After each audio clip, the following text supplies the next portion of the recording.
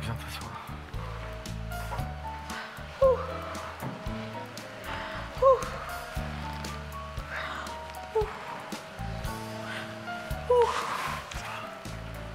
Je suis enceinte pour la première fois, j'attends mon premier bébé. Quand j'aurai mon enfant, pour l'instant, je ne sais pas ce que je ferai. Je vais peut-être probablement pleurer. Ça, c'est sûr, elle va pleurer. Et moi, je ferai comme dans le Roi Lion. Je ferai comme ça, là. Il correspondait à tout, tout- tout ce que je recherchais chez une femme, alors pourquoi chercher plus loin Viens t'asseoir. C'est sûr que tu veux pas venir t'asseoir Ce que tu dois comprendre, C'est quoi c'est que quand ça commence, tu, tu, tu peux plus rien faire. Il faut que ça passe avant de... Ouais, je sais. Mais toi, tu me dis, euh, tu veux t'asseoir, je peux, je peux plus, je, je bouge, je vais... Ah, d'accord. Ok, j'en prends bonne note. Je te ramène la chaise, je t'aurais ramené la chaise. Non, je peux plus, je bouge, je ne peux pas. Je suis venue aujourd'hui parce que j'ai du mal à dormir, j'ai du mal à me coucher sur l'un ou sur l'autre côté. C'est c'est infernal, c'est le parcours du combattant pour me, pour me tourner, pour me lever, pour, euh, pour aller aux toilettes toutes les cinq minutes. C'est euh, c'est bon quoi, j'en peux plus. Respirez bien quand vous avez mal. Voilà, respirez, respirez, ne vous crispez pas. Ça fait encore plus mal comme ça. Elle est un petit peu à bout de nerfs. Parce que voilà, c'est la fin, ça commence à la fatiguer de plus pouvoir se mouvoir, se déplacer. Et elle a hâte, euh, elle a hâte que ça arrive. On va réexaminer, voir où ça en est. Si ça n'a pas bougé, je vous renvoie à la maison. Pour les débuts de travail ou en attente, on ne peut pas vous garder, sachant qu'on ne sait pas si vous allez accoucher aujourd'hui, demain ou la semaine prochaine. Ça, on ne sait pas encore. Si je suis pas soulagée, je rentrerai pas. J'enlève les doigts. Mais il n'a pas bougé. Tu vois? Je vous le garantis. On peut pas le voir, le médecin. Mais je vais l'appeler. Sachant que vous, je vous assure hein, qu'il ne vous dira pas grand-chose de plus. hein. Je vais poser ça, je reviens.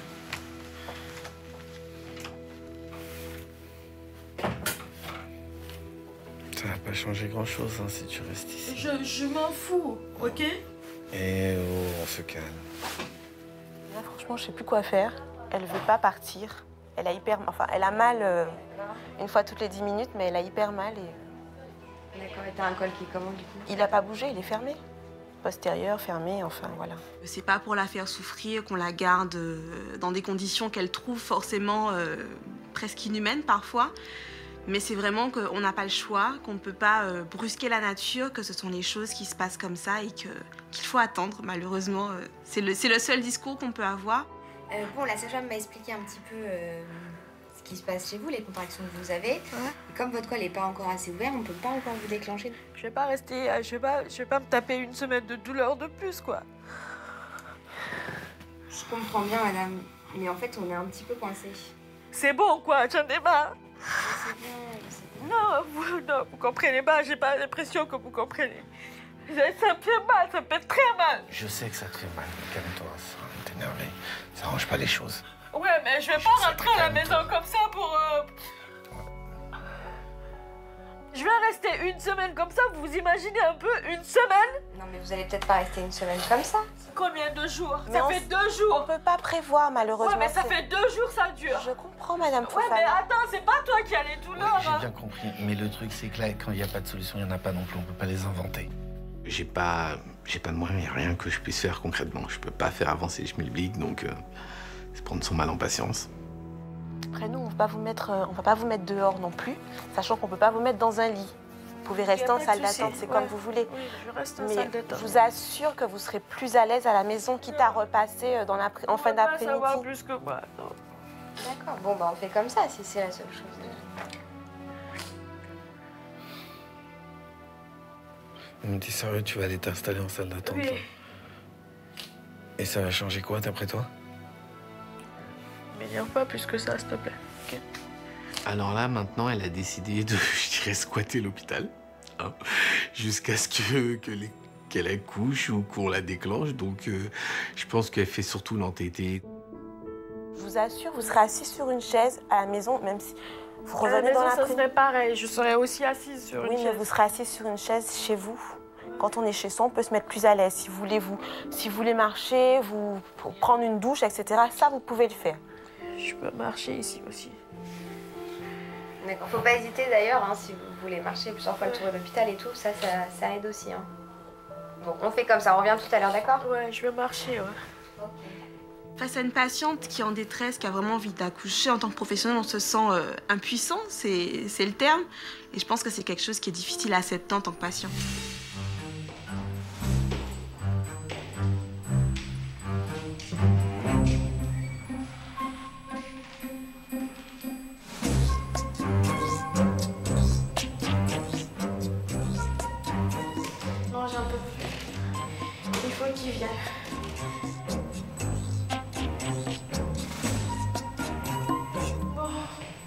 C'est vrai que c'est quelque chose que j'avais déjà entendu, que le fait de marcher aide à préparer le travail, mais ça m'étonnerait que ça le fasse commencer une semaine à l'avance. J'ai quand même des doutes. Mais si ça peut l'aider psychologiquement à continuer à arpenter l'hôpital, là, elle doit être à déjà 2-3 km. Je pense qu'au bout du dixième, peut-être qu'elle commencera à fatiguer, à vouloir se reposer.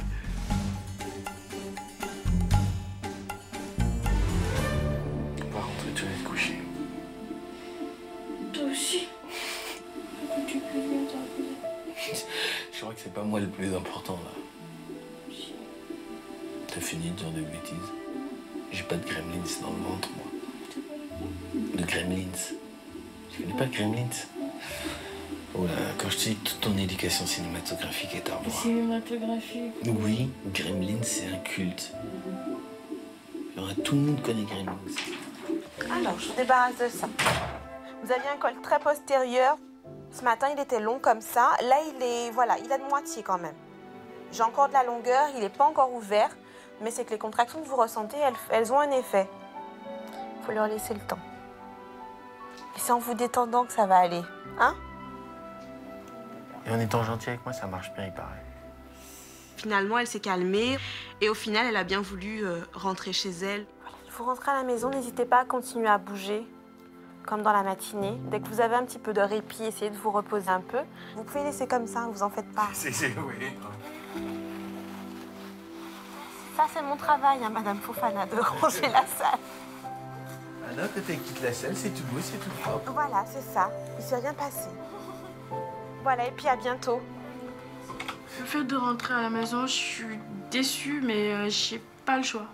Je veux pas le pousser. Si, seulement j'avais la force de le tirer de là, là, maintenant. Je l'aurais bien fait, mais non.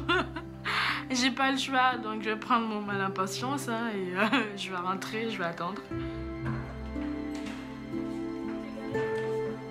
La prochaine fois, c'est les pompiers qui viendront me chercher parce que je vais vraiment attendre que ça soit le qu'il soit là, quoi, parce que j'ai pas envie d'être déçue une troisième fois.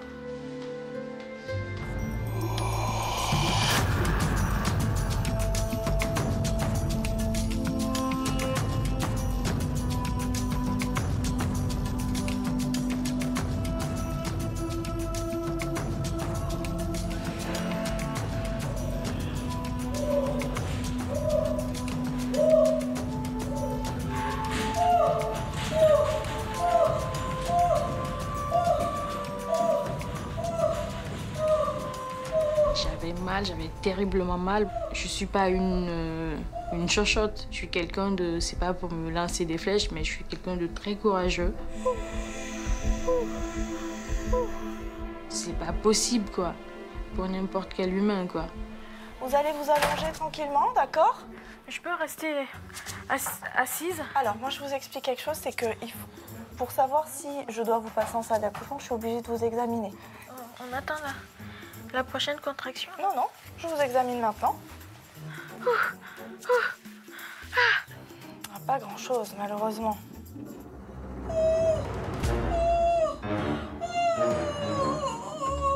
Quand on a des patientes euh, qui ont un col qui euh, se modifie très très peu, voire pas du tout, et euh, vraiment quand elles sont épuisées, on leur propose d'aller dans le bain. Bonjour madame.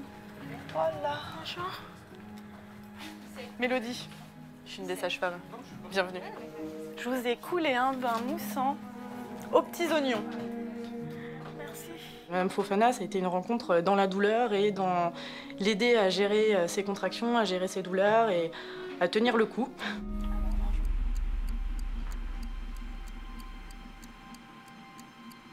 Je suis arrivé à 4, 4h, 5h du matin. 5h du matin, ouais. Quelque chose comme ça, ouais, vers 5h. Bonjour.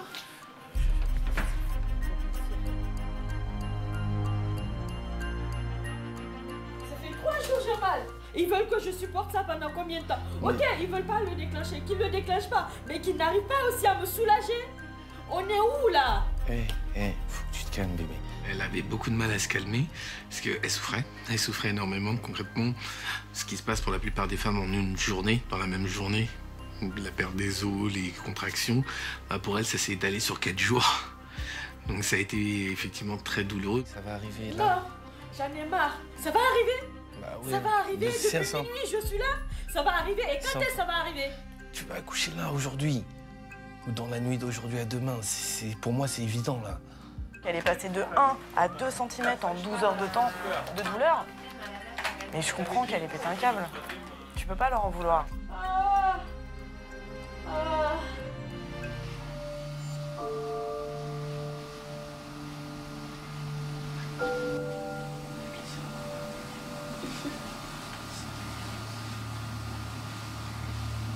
Ah.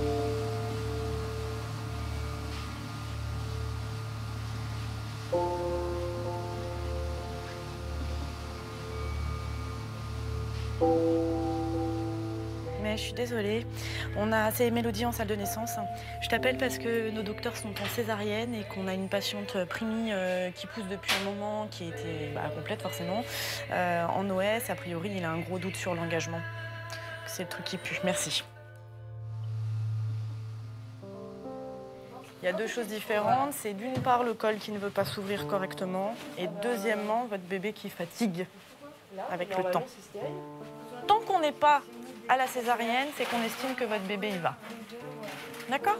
Mon travail à moi, euh, c'est de leur réinsuffler du courage régulièrement. C'est juste redonner de la motivation. Mon travail, c'est ça. Même si votre bébé n'est pas césarienne, ne vous dites pas que vous avez fait tout ça pour rien.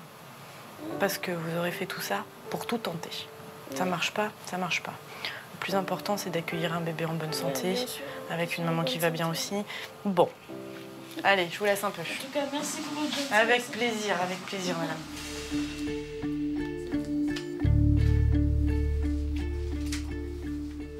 Alors, je vais vous réexaminer. Il y a deux choses. hein. Il y a la dilatation et il y a bébé qui n'aime pas les contractions. Hein, Il y a deux éléments quand même. Je vous rallonge en vitesse et on va se mettre sur le côté parce qu'il n'aime pas, pas franchement. Levez un peu les fesses s'il vous plaît. Ça avançait très doucement, très très doucement, mais trop doucement. Au bout d'un moment, euh, c'est cool. Mon fils a commencé à ne plus totalement supporter très bien les contractions, en tout cas. 7,28. 7,28. Je sais, c'est bien, mais le rythme. Je sais, euh, je sais. Ah bon ouais. Le, le deuxième, du coup, tu l'as fait ou pas? Fofana, votre bébé, il va bien, il, a des réserves. Néanmoins, ça ne nous empêche pas de voir que le rythme, euh, ça commence à aller vraiment moins bien. Donc je pense qu'il faut qu'on aille en césarienne pour faire naître ce bébé plus rapidement. D'accord? On aura essayé, on se soit donné tous les moyens, mais euh, je pense que le plus important, c'est qu'on ait un petit bébé qui aille bien et euh, qu'on prenne pas de, de risque pour lui. D'accord? Ok? Je l'ai porté neuf mois. Et euh, que ce soit par césarienne ou par voie basse, euh, ça reste notre enfant.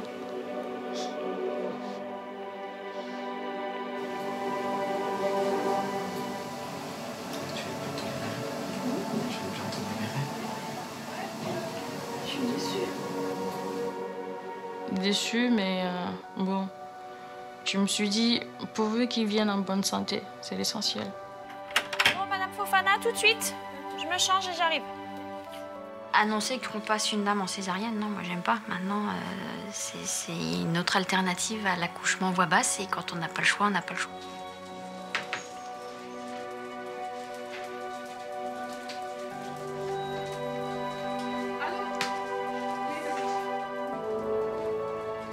Vous attendez juste là derrière ces belles portes, euh, ces belles portes blanches. D'accord. Et puis euh, ils viendront vous chercher.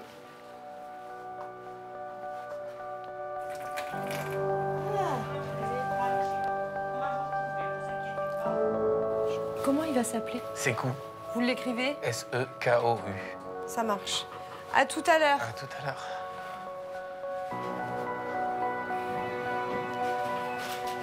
Il est un peu sérieux Oui, il est c'est un beau bébé, hein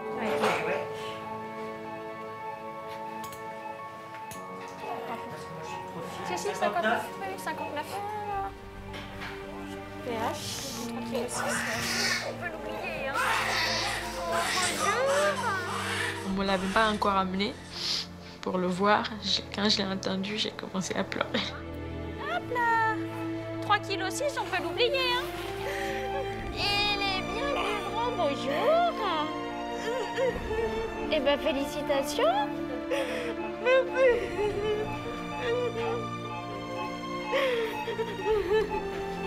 Ça va Ça va mieux, soulagé Il avait les yeux grands ouverts, il m'a regardé, il m'a souri en plus.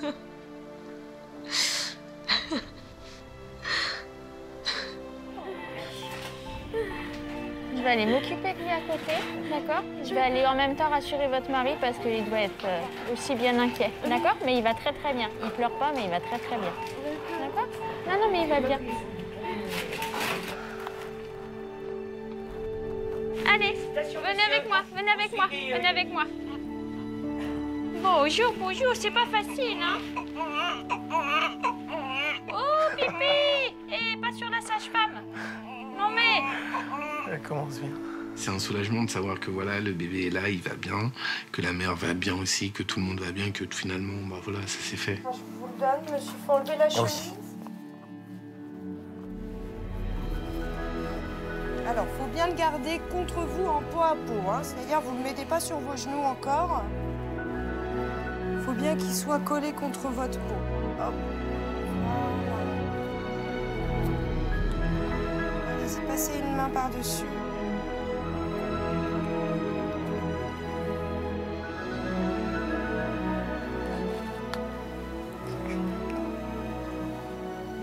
Ah ouais, tu le sais. Ça te fait rire en plus. hein. Et on t'a attendu, toi. Tu voulais pas venir. Regardez qui est à votre gauche. Vu, c'est maman. Ça va, toi T'as vu, c'est ta maman. Félicitations. hein. Félicitations à toi aussi. Ça va, toi J'oublie tout. J'oublie euh, les trois jours de souffrance, de, de contractions douloureuses. J'oublie tout. Tout sur l'instant. Je me revois encore en train de pleurer. C'est bon, elle a dit oui. Tu t'appelles Sekombwami. Votre bébé. Félicitations. Il est magnifique, il est magnifique. Maintenant, voilà, c'est, on s'imagine la suite, forcément, qu'il va falloir prendre soin de lui, s'occuper de lui, s'assurer que tout aille toujours bien.